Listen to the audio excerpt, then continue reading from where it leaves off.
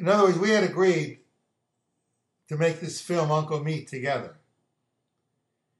And I would keep shooting and kept saying, well, when are we going to start putting the film together?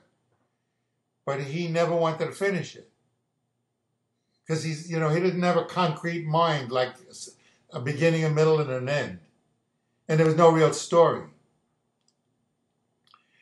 So by the second year, what happened is we went to Amsterdam in Holland, you know, in Holland. I'm explaining the incident.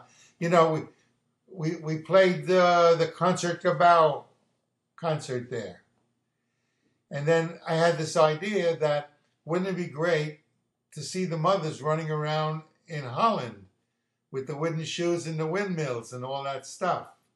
Yeah, thinking like an ordinary creative person, not like hmm. Zappa. Anyhow, we went there and we were about to shoot, and Zappa got a call from Barbarella, Roger Vadim, to score Barbarella. So he, you don't know Barbarella with Jane Fonda? No, yeah, Zappa scored that. No, no, no, he never did. Oh, I But he, he so. went. But he went. What happened is he went to France to talk to Vadim about it, and left Hmm. me with the guys in Holland. And meanwhile, I had been deserting my TV commercial career to be traveling around. We played Albert Hall, you know, and then we played Concertgebouw, and I was, uh, you know, doing a lot of filming of Zappa. It's part of my film.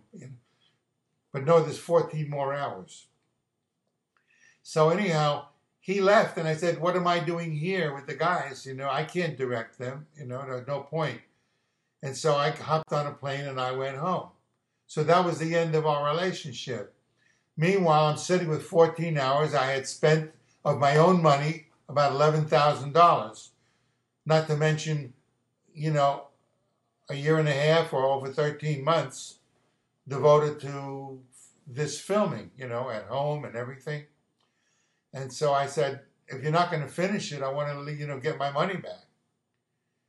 And so, because you're never going to finish this film. So we had like, you know, that scene. And I wound up suing him. I got a lawyer and I sued him for $50,000, you know, 11000 spent and all the time I put in. And we actually came to a compromise of 25000 in which he kept the 14 hours and I was allowed to keep my my film, which was supposed to be just for just for festival use, not to use it commercially. So after 40 years, now I'm selling my little film, which you know a lot of people are thanking me for because they never saw the footage, Right. and I feel I'm doing his memory a service. I'm not ripping him off. I make the DVDs myself. I mean, I don't manufacture these things. I got to spend an hour making one DVD on my computer. So charging people 19.95 and doing all that work, I don't think I'm making money on it. You know, to me, it's a matter of my devotion to him and uh, and letting uh, sharing that stuff that we did together. And now, as I say, all those fans are saying, "How do we get to 14 hours?"